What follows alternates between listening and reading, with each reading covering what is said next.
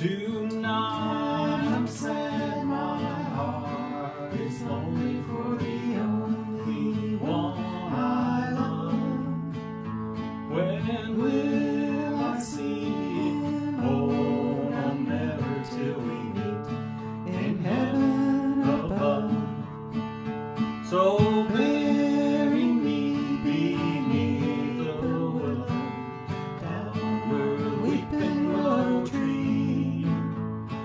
so he will know where I am sleeping